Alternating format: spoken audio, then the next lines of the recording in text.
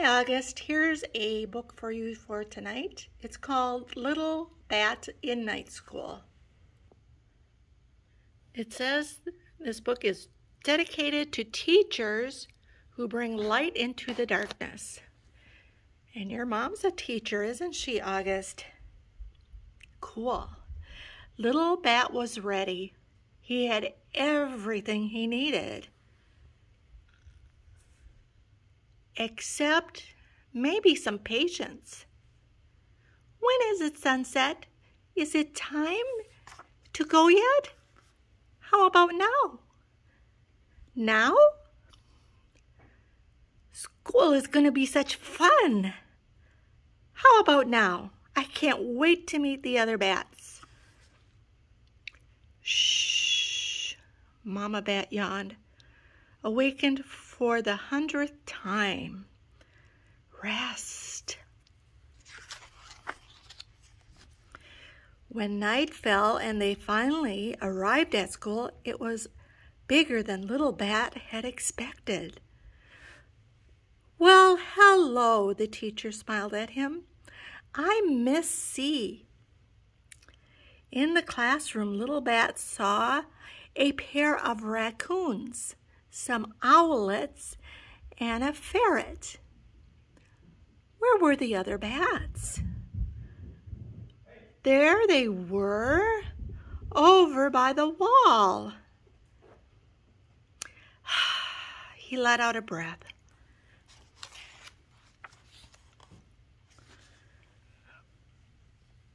Hi, he said.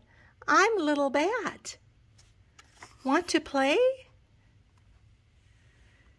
We're already playing, one said. With each other, the other added.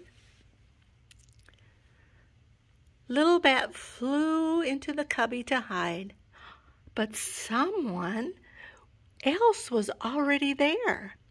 Hi, how are you doing? he asked. I'm just hanging out, she replied. Oh, Little Bat said, is it okay if I hang out here too? I guess so, she said. But why aren't you there with them? I don't know anybody, said Little Bat. I want to go home. Me too, she said. I'm Ophelia. I'm Little Bat, he blinked. Hey now, we do know somebody here.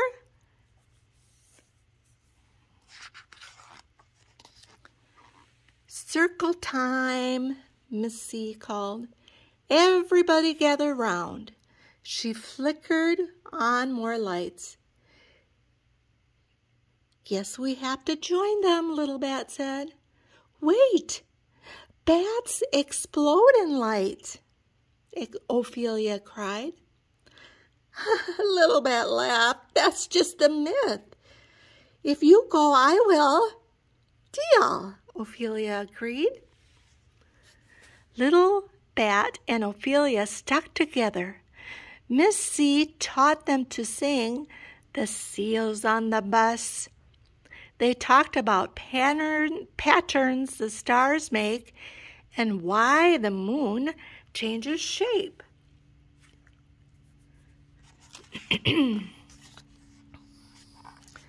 it was time for show and tell. I have a half a popsicle stick. I've got the other half. I brought a car. You copy me. I brought a car. You copy me. We found this in someone's backyard, said the raccoons. I have a bumbershoot. Did you know a bumbershoot is another name for a uh, umbrella? Little Bat hadn't brought anything to share, so he held his wings wide. Then he said, these are my floaties. The others gasp. Do they help you fly? Do they help you keep warm? He shrugged. No, I just like them. Neat, the other said. And this little raccoon said, I have a cephalopod. That's what these are called. Looks like a little squid.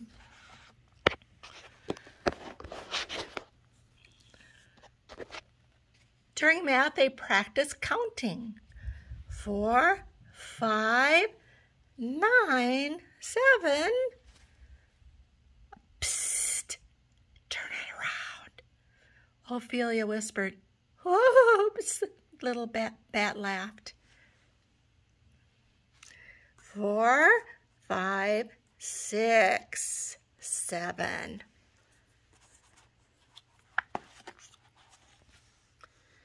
At nap time, everyone found a comfy place to rest. Look at. There's little bat. He's on the letter K. It's hard to see though, but that's where he is. There's Ophelia. She's on L. Then it was time for art. Little Bat threw himself into making prints. Looks like he painted himself. He felt, he loved the feel of the squishy clay. There he's making a sculpture. And Ophelia's making a sculpture. Aren't they good? But Little Bat looked up and saw what someone else was making. I stink at art, he cried. I quit.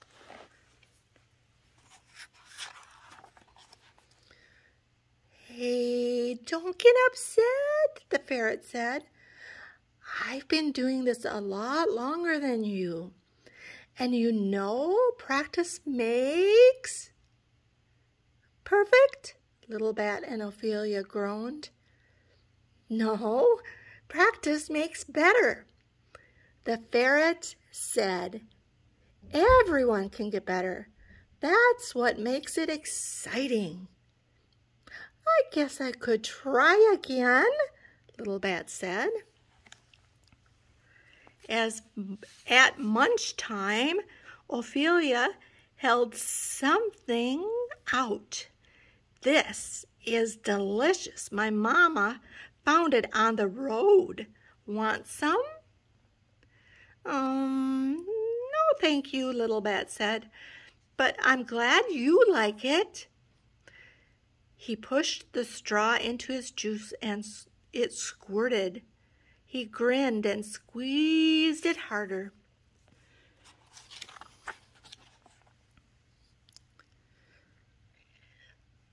He really squeezed it. Hey! I'm so sorry, Little Bat cried. I didn't mean for that to happen. Mrs. C leaned in. It's kind of you to help clean up, she said. It was kind of funny.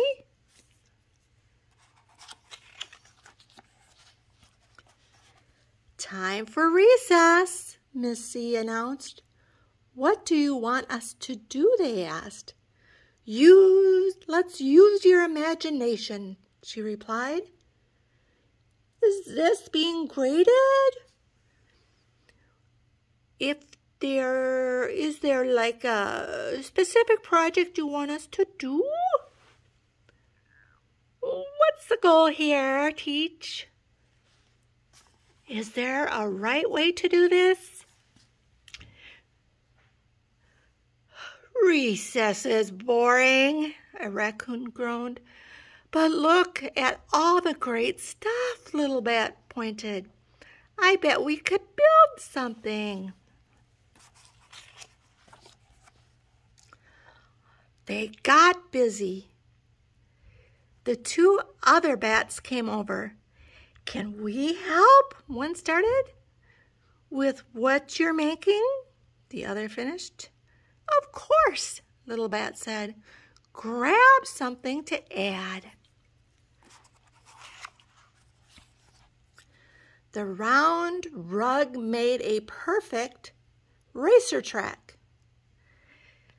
Story time, Miss C called. Everyone grumbled. Aw, just as we were getting started. But they gathered around Miss C, opened a book, and oh, let me start that over, okay? But they gathered around as Miss C opened a book and took them far back into the past. Could the heroes escape before the time door closed, trapping them forever? As the pterosaurs gained on them, a ray of morning light fell across the pages. That's part of the story, isn't it, Gus? And we'll have to leave the story there for now, Miss C said. No, everyone pleaded. Just a little more. Don't worry, the story will wait for us. Miss C smiled. Time to gather your things. There's a, there was a pretty good night after all. I'm just going to start that again. That was a pretty good night after all, Little Bat remarked. Are you going to come back again tonight? I will. I will if you will, Ophelia said. Deal.